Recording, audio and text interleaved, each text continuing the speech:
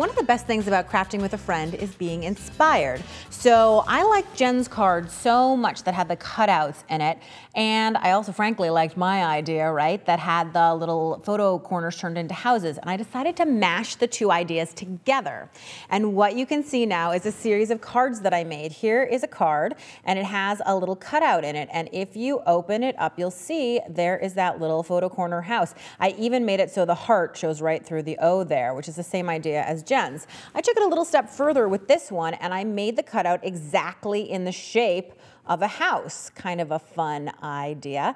And then I got really fancy and I put three in a row. And then of course, you can't ever have scraps. So I made a little card with all the leftover bits that have been cut away.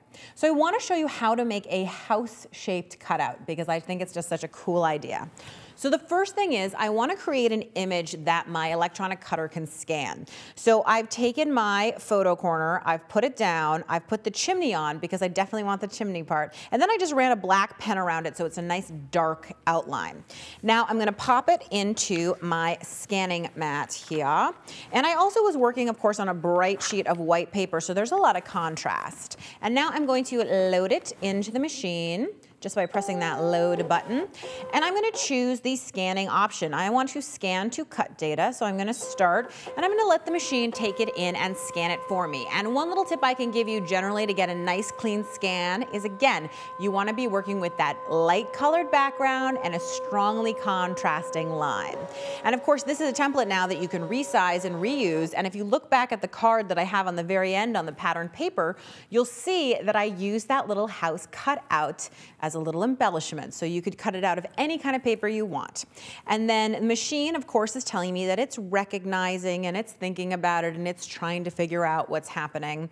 And I can now be crafting, playing around, hanging out, making other embellishments while that is working away. Now, once I see it on the screen, I'm gonna choose the outline scan. And I'm gonna simply drag in the red arrow to get a nice tight scan on there. I'm gonna hit save and I'm gonna save it into my machine. And then once that that has saved in there, I'm gonna hit okay. I'm gonna press the home button to go back because now I'm ready to cut. So I'm going to unload my mat and I'm gonna trade it for a cutting mat. Now, if you've never used one of these mats, it comes with a protective cover and I'm simply going to pull it off and save my cover because this is sticky. Now here's the fun thing, which is I can now take my card and open it up. And a card opens like this. And I'm going to place it down on my mat. And I can place it anywhere on this mat that I want. For a really good adhesion to the mat, you can just, you know, use your spatula tool to get it on there. Then I am going to load this into the machine. And again, I simply press these edges right up against there, press the load button, and then I am going to choose the pattern option. And you'll recall we have just saved that into the machine. So I'm gonna go looking for it in all my saved designs, just using the scroll button. There it is, I see it. I know it's just the size that I want it to be, but how am I gonna place it on the card?